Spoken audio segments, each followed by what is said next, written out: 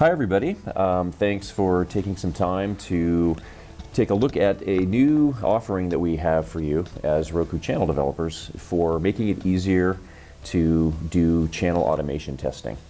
Um, we're providing you basically a Selenium style implementation that'll let you do automation tests that also include UI testing, uh, which is kind of a nice improvement over some of the, um, the current offerings that we have. And we'll get into some examples of that in a little bit. First thing I would like to do is kind of walk you through um, sort of a high level overview of the basic technology stack, if you will, that we implemented to make this solution work. Um, the first piece of it, as I mentioned, is um, an implementation of a subset of the Selenium commands that you might be familiar with from using a Selenium-based solution for other platforms, like doing web automation testing.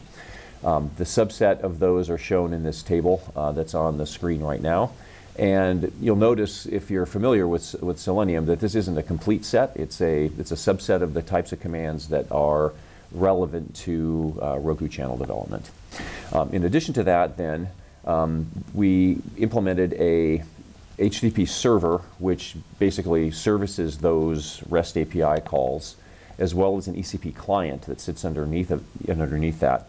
So the, the commands come in as HTTP REST calls. Those get translated into ECP commands, which are what actually gets sent out um, to control the actual device.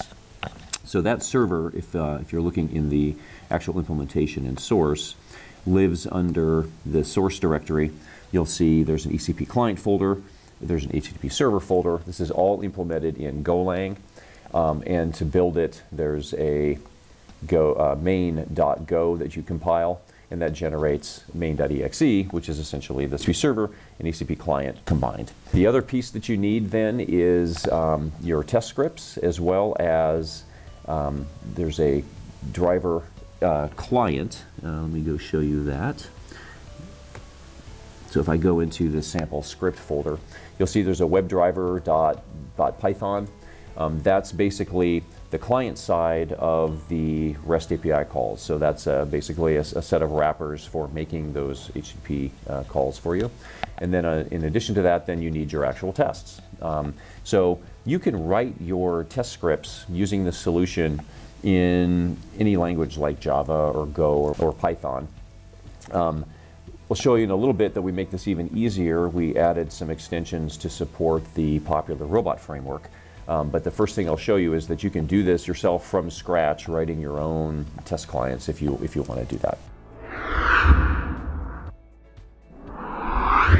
So let's get right into showing an example of how this works.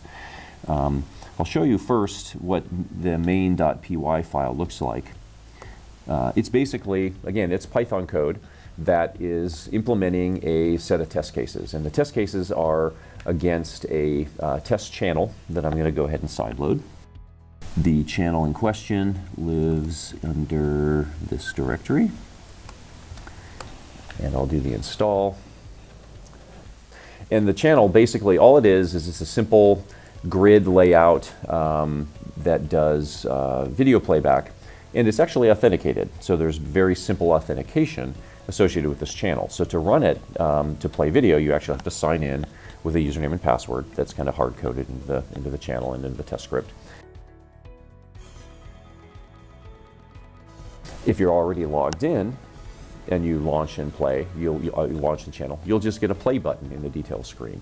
So what this is going to demonstrate is two things. Certainly just a script running against our uh, Selenium REST endpoints itself, but also the test case itself, as I show you our main.py again, is there is verification code that says, hey, are you already logged in? It'll check the details screen that's up and see if you have a uh, authenticate button or a, a play button and use that screen state to know whether or not the test script has to go off, authenticate you, or just do playback. So you can do UI state driven test cases, which is really, really handy.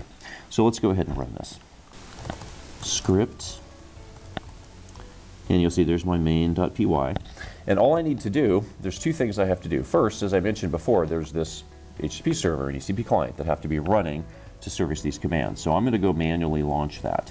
Um, again, when we get to the robot case, you'll see that all happens automatically, but raw bare bones implementation is you go start main there. So there's the server running. And then back in my command line, I just have to run my test case. So I'm going to run python main.py.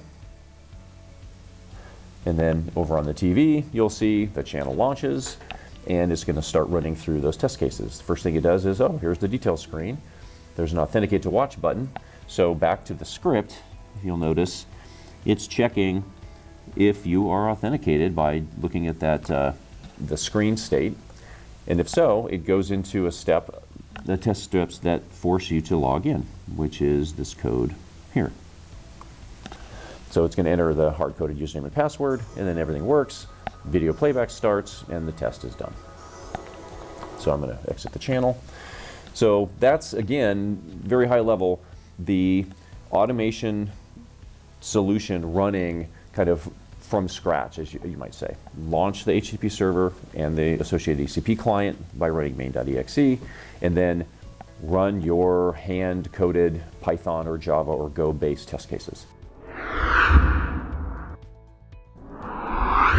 It's even more convenient if we um, start to use a kind of a popular automation framework, and the one that we've uh, centered on because we use it for some things internally is Robot. The stack is essentially the same. It's the same HTTP server and ECP client under the hood that's going to run. Um, your test cases now on the very top of the of the test case stack are now instead of uh, necessarily having to write just raw Python code or Java code, you can write your test cases like this. You can see for example, a case of a robot script, which with its own syntax, for the similar test case that we just saw, and I'll run in a minute. Um, the nice thing about this is, you know, you define your test cases in this sort of uh, high-level scripting language. You can define test case-specific keywords, um, similar to the previous case. Um, we have a do auth keyword, which is uh, used in the case that you have to authenticate. So it defines the steps that you run to authenticate that same test channel. And um, in addition to that, in the middle, there is a robot library that we wrote that implements a bunch of very common uh, robot keywords that are specific to Roku. Let me show you that real quickly. So here's ro uh, robot, and in here is a whole set of commands that are reusable that you're going to want to probably use for most of the automation tests that you ever write. Things like launching a channel, sending key presses, um, th that, that sort of thing.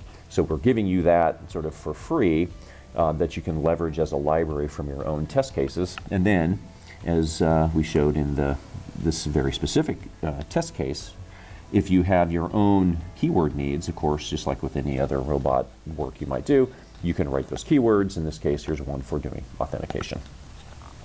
I'm going to now um, sideload a different test channel to exercise this example.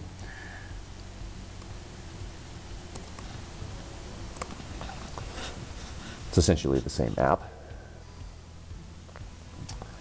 And now I'm going to go to, in my command line, go to the robot library folder. And now I, under the tests folder, there's a whole bunch of robot scripts, one of which is this basic underscore test.robot that I was showing you. We're going to run that test case to sort of parallel the do it from scratch non-robot test case that we just showed. So I'm going to run Python robot run there's a, as you see in the, in the um, command line, there's an output directory argument. Uh, I'm going to show you what that's all about in a minute. We're actually, in addition to running the test, robot's going to generate some really nice test results for us. And then you specify the actual robot test case. So I'm going to let this run. And again, my channel launches. It's going to go in. Now, the first thing it does, it says, oh, well, I have a play button. So it's just going to go launch video playback and then the test case will end. Um, it will also, it's responsive to whether or not you're logged in. So I'm going to go and just manually run the channel and I'm going to log out. So if I hit the star key here, there's a log out option. So now I'm not authenticated. And if I run this same test case again, and I'll show you the robot code as, at the same time, it's going to go off and say, well, I launch the channel and I check and I see that I have a authenticate to watch screen element that's active. So this test case, this, this step in the, the test case is going to say, I got to run this authentication keyword now because I'm not logged in. So it's going through and doing the send key events and everything to enter the username and password for the channel. And then when that's done, it will start playback and verify that playback is, is started. And if all of those steps pass, the test case passes, and we'll see those results in a minute in our nice uh, robot uh, test results output. So there we go, video playback is going. From the command line, I can see that uh, you see on the, uh, on the command line that all the test cases pass. So you can get a sense of that as you're running the test. And then, as I mentioned, I can go out into the results folder under that robot library subsection, pull the log, drag and drop here, pull the log.html file, and lo and behold, there sits a nice uh, robot output showing the test execution. The, the test suite itself, all of the individual test cases that ran, um, the data associated with those test cases, and the uh, pass-fail results of the test. So that's kind of a quick overview of what we have to offer. Uh, hope you guys enjoy using this and it makes your testing lives even easier. Thank you.